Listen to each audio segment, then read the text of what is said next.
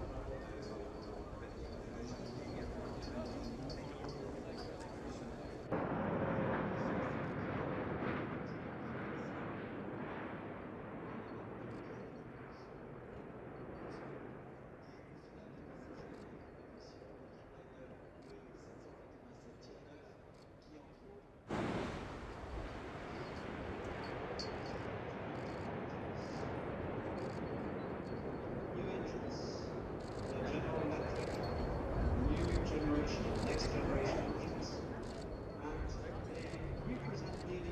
two generations on